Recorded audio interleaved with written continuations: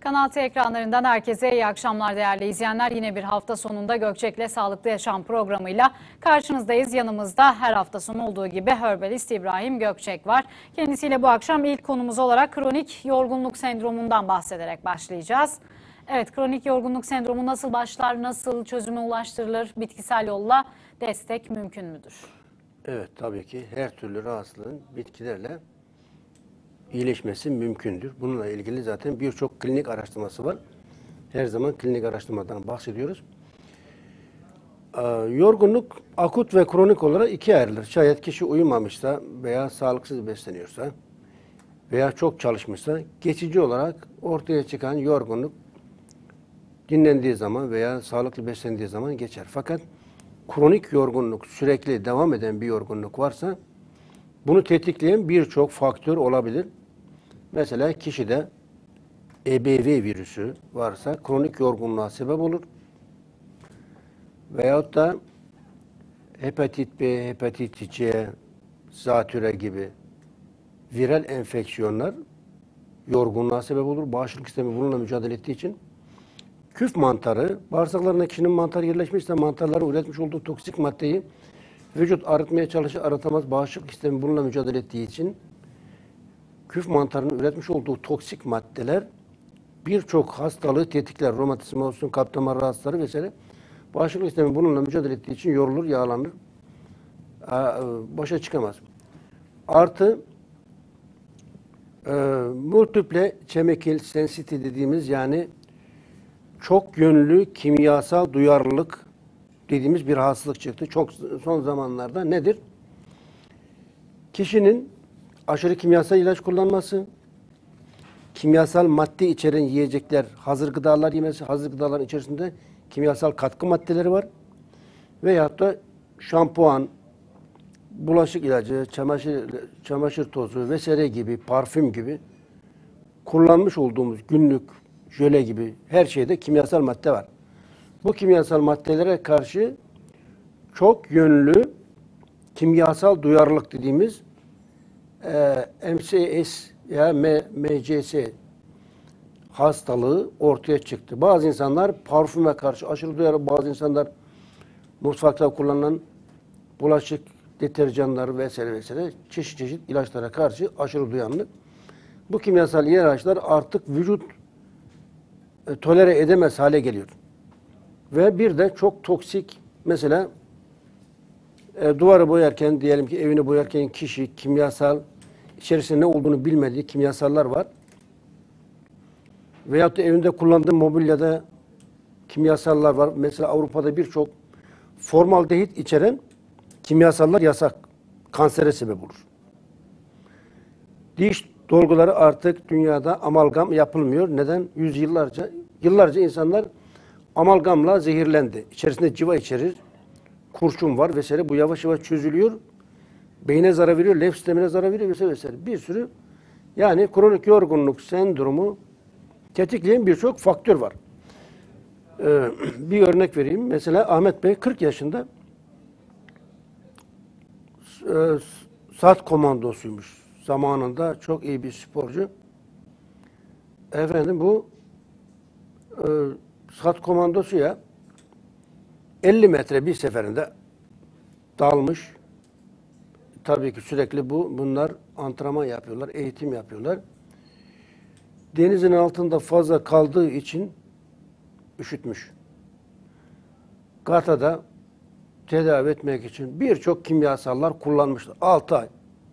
İlaç kullana kullana kullana artık bitmiş. Enerjisi sıfır. Ölü gibi yatıyor.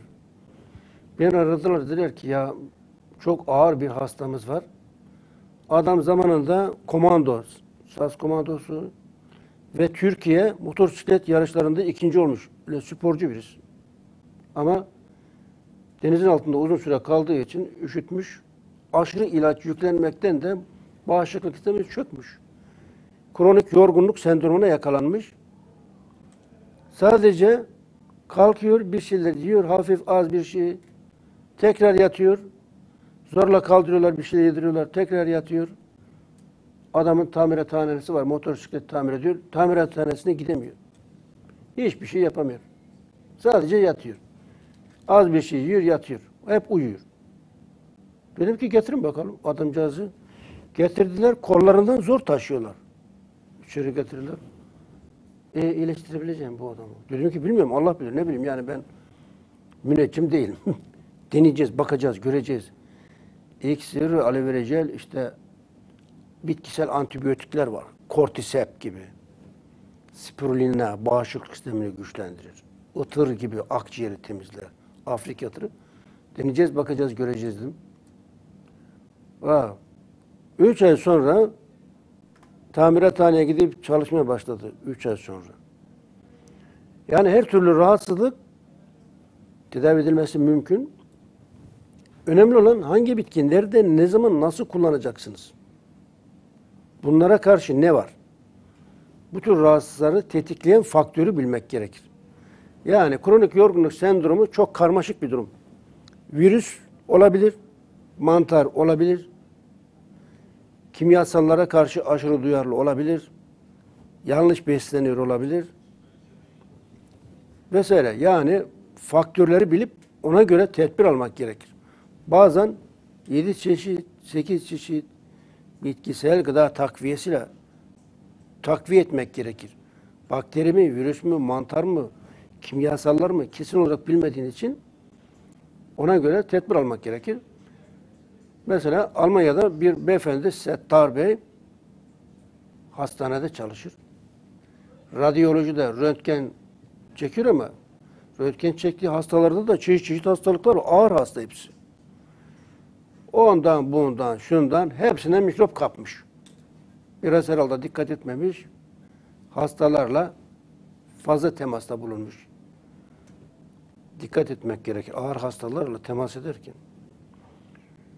Efendim küf mantarı, idrarı yeşil geliyor. Ve EBV virüsüne yakalanmış. 6 ay üzerinde hastanede deney yapmışlar, yapmışlar. Demişler ki yapacak bir şey yok evine git. Beni aradı diyor ki ne olacak benim durumum? Tamam görüşürüz. Ben dedim otobandayım. Müsait bir zaman ben sararım. Yok yok o arabayı çek kenara beni dinle. Benim durum acil. Peki dedim. Çektim kenara. Buyur dinliyorum dedim.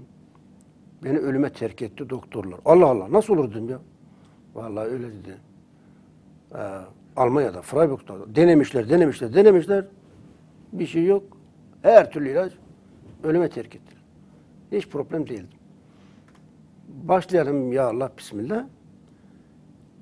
Üç ayda canlandı. Gezip tozmaya başladı. Altı ay sonra iş yerine gittiğinde Aa, demişler ki biz senin ismini kara tahtada geçecek diye düşünüyoruz. Sen buraya işe gel. Kara tahtada ölenlerin işte özgeçmişi yazar. Falan falan tarihte çalışmıştır, ölmüştür, Allah rahmet etsin vesaire diye yazı bekliyorduk. İlan tahtasında. Sen tekrar işe geldin. Nasıl oldu? Ben Gökçek iksir. O ne demişler vesaire.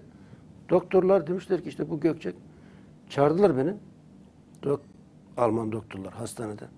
Siz böyle bir şey üretmişsiniz. Evet. Birlikte çalışalım. Dedim ki ben Türkiye'ye dönüyorum. Kusura bakmayın. Kendi işimi kendim kuracağım. Şimdi önemli olan rahatsızlığı doğru bilmek ve doğru uygulamak. Ha, bunların bir problemi daha vardı. Hem kendisinde problem var hem ailesinde. Bu nedenle çocukları olmuyordu. Ailesi demiş ki, bakıyor ki adamcağız canlandı, kanlandı, tekrar işe döndü. Enerji dolu. Önce sarımsak kokuyor bu diyor, kullanma diye kocasıyla tartışıyorlardı. Sonra görünce şaşırdı. O kadar ilaç fayda etmedi. Adam hastanede 6 ay. Beni aradı dedi ki İbrahim Bey bizim çocuğumuz olmuyor işte dedi. Bende prolaktin hormonu çok yüksek. Beyimde sperm kalitesiz, hareketsiz. Biz çocuk düşünüyoruz ama olmuyor. 7 yıldır uğraşıyoruz. Ne olacak? Problem değil. Ona da çözüm var dedik. Şimdi maşallah 7 yaşında bir kızları var. Elif. İsmini ben koydum. Şimdi her türlü hastalık tedavi edilebilir. Önemli olan hangi rahatsızlığa neyi kullanacaksınız?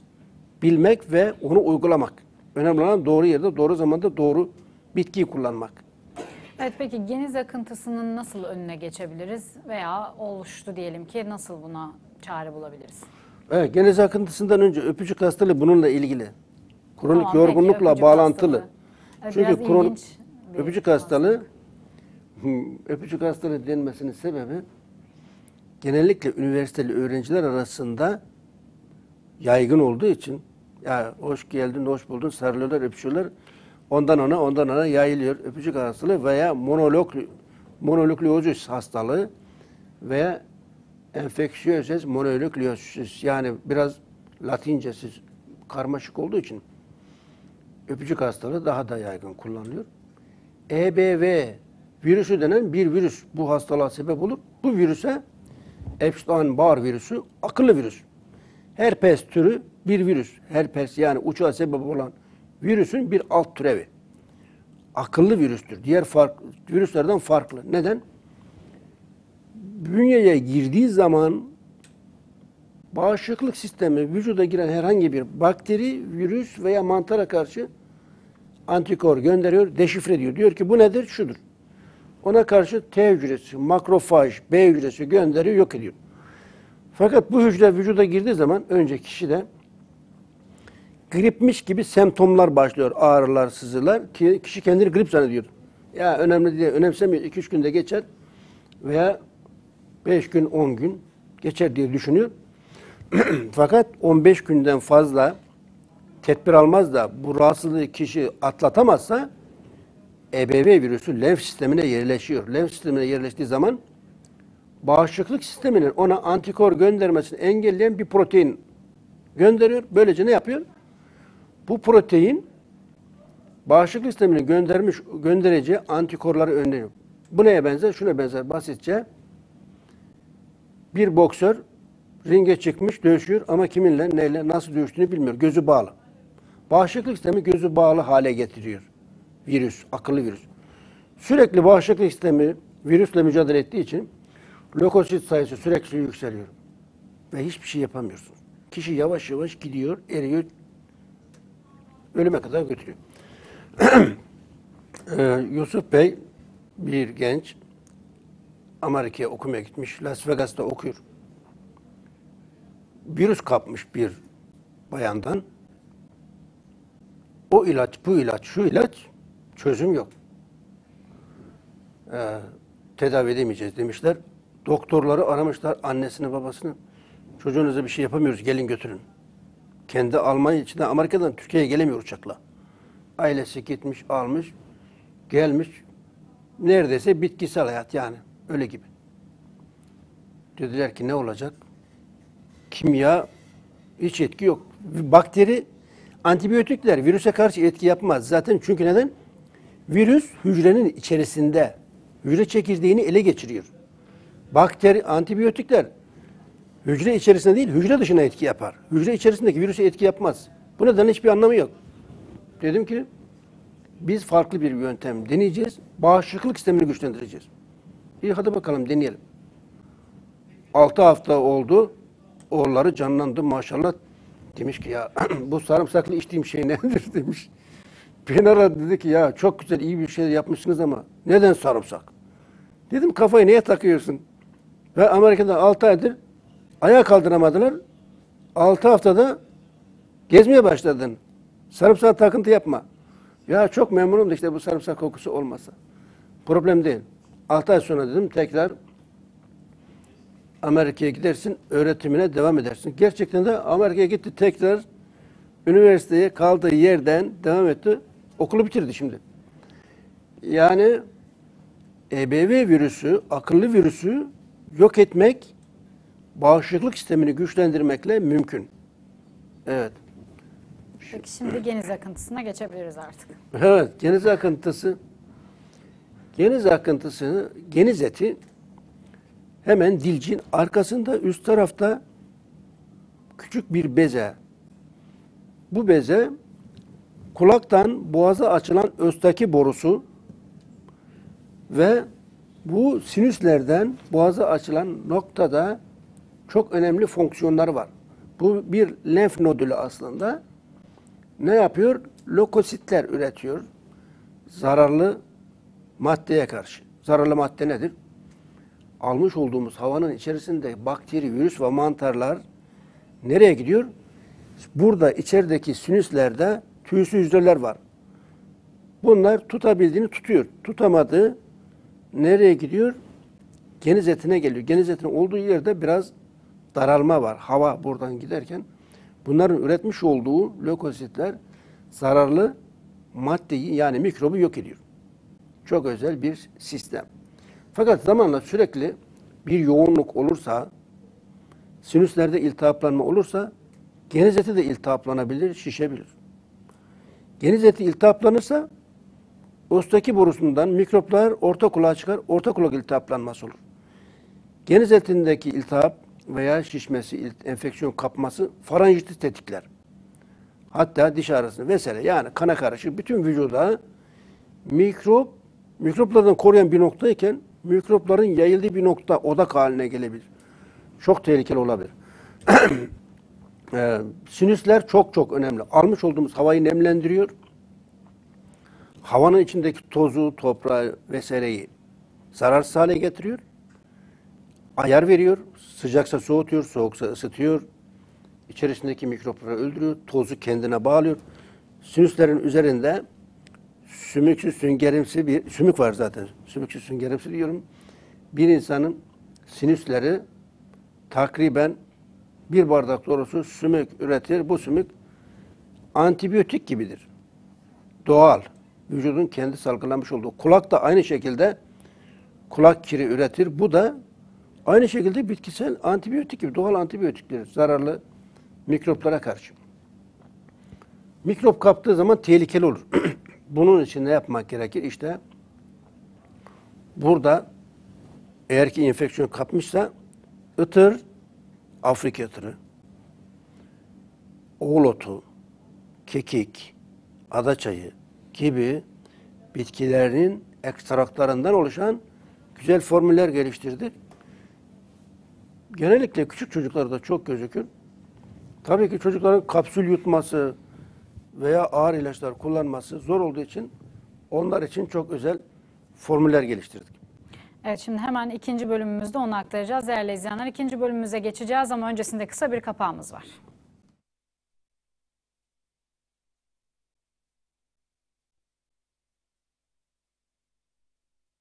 Evet şimdi ikinci bölümümüzde söz sizde. Evet. Sinüzit, faranjit, bronşit, genizeti, iltihaplanması ve şişmesine karşı ıtır, Afrika ıtırından çok özel bir formül geliştirdik. Fakat küçük çocuklar kapsül yutamayanlar için, bu kapsül olduğu için yutamayanlar içinse yeni bir formül. Nef-E çayı. Aslında bu nedir? Bitki ekstraktı. Türkiye'de ilk defa bitki ekstraktından çay geliştiren biz olduk. Yani bu aslında bitkinin tozu. Şöyle bir kaynar bir bardak kaynar suya evet bunun bir çay kaşığı bu ekstraktır. Yani ilaç. Aynı ilaç gibi bu. Şu gördüğümüz çay gibi değil. Farklı. Buradaki bitkinin mesela 100 gramında etken madde yüzde üçtür, yüzde beştir. Ekstraktın ise tamamı etken maddedir. Tamamı. Bu nedenle ekstrakt evet ekstraktın etkisi mükemmel. Evet. Biraz soğuk su olduğu için karışmadı. Sıcak suyla çözülür. Çözülmesi biraz zor. Ee, her türlü sinüzit, faranjit, genizet iltihaplanmasına karşı çok özel bir formül ee, küçük çocuklar için her yaş kullanabilir. Küçük çocuklar için yarım çay kaşığı 6 yaşından büyük olanlar için bir çay kaşığı büyüklerse herkes her yerde kullanabilir. Sadece küçük bebekler için değil. Büyükler bir tatlı kaşık kullanabilir. Yani şimdi burada eski usul çayı kaynatmak, demlemek vesaire ofiste çalışanlar için zor olacağı için yeni bir sistem geliştirdik. Kaynar suya yetişkinler bir tatlı kaşığı attığında faranjitti, sinüzitti, bronşitti, orta kulak iltihaplanması vesaire on numara. Hem çay içiyor, tadı güzel, içimi güzel. Hem çay içilir hem de bitkisel bir ilaç. Evet, bitkisel doğal bir kullandığı zaman yavaş yavaş bu rahatsızlıktan kurtulur. Artı bu da enfeksiyon kapanlar için Enf-E çayı, Enf-E. Bunun birleşiminde kortisep, Çin tırtır mantarı. Çin'de 1200 yıldır antibiyotik olarak kullanılan bir parazit bir bitki diyelim, mantar. Diğer bitkilerin özünü emer veyahut da böceklerin larvasının özünü emer. Ee, her türlü rahatsızlığa karşı isteyen Google'da girip görebilir. Kortisep, bitkisel doğal antibiyotik. Yetişkinler için Kortisep forte, çocuklar için NF, özel bir isim, NF enfeksiyona karşı geliştirilmiş ee, ve ekstrakt olduğu için de etkisi maksimum derecede çay, çayla karşılaştırılmayacak. Normal çaydan yani bitki karışımlı çaydan buradaki mesela bitkili karışımlı çaydan 30 kat daha güçlü. Çünkü saf damıtılarak elde edilen ekstraktan üretilmiştir. Evet.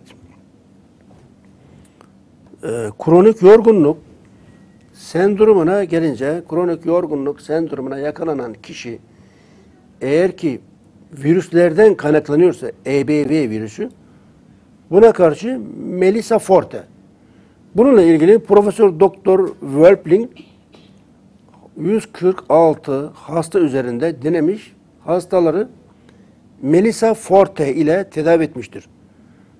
Eğer ki yorgunluk, kronik yorgunluk sendromunu tetikleyen faktörler farklı farklıdır. Bağırsaklarında mantar varsa aloe vera gerekir, aloe vera jel. Ee, viral bir enfeksiyondan dolayı kronik yorgunluk sendromu ise iksir gerekir. Yani kronik yorgunluk sendromu tetikleyen faktörleri bilmek gerekir. Nedir tetikleyen faktör? Eğer virüs tetikliyorsa iksir, mantar tetikliyorsa aloe vera jel, yani bilinmiyorsa kronik yorgunluk sendromu tetikleyen faktör nedir? Bilinmiyorsa bakteri mi, virüs mü, mantar mı? O zaman ne gerekir? İksir, aloe vera jel, cordyceps forte, spirulina forte gibi ürünler komple kullandığı zaman kronik yorgunluk sendromundan kurtulmak mümkündür. Fakat herhangi bir kimyasal ilaçla kronik yorgunluk sendromuna yakalanan kişiyi tedavi etmeye kalkarsanız ne olur? Daha büyük problem ortaya çıkar. Çünkü antibiyotikler bağırsaklardaki faydalı bakteri yok ederken zararlı bakteri ve mantarların daha da çoğalmasına sebep olur. Bağışıklık sistemini çökertir. Çünkü enfeksiyonun sebebi yani kronik yorgunluk sendromunun sebebi farklı farklıdır. Kiminde virüs sebebi, kronik yorgunluk sebebini, kiminde mantar, bazılarında da kimyasal maddeler sebep olmakta. Eğer sebebi bilinmiyorsa iksir, aloe vera jel, kortisep, spirulina, damar çayı enfeksiyon çayı kişi kullandığı zaman bu rahatsızlıktan kurtulur. Bu tür rahatsızlığa yakalanan bugüne kadar birçok kişiyi hamdolsun çok kısa sürede tedavi ettik. Efendim, e, öpücük hastalığıyla ilgili ise e, kort, kortisep, forte bağışıklık sistemini güçlendirir. Öpücük hastalığı bilindiği gibi EBV virüsü denen akıllı virüs kronik yorgunluk sendromuna sebep olur. Bağışıklık sistemini güçlendirmek de bağırsakları tedavi etmekle mümkündür.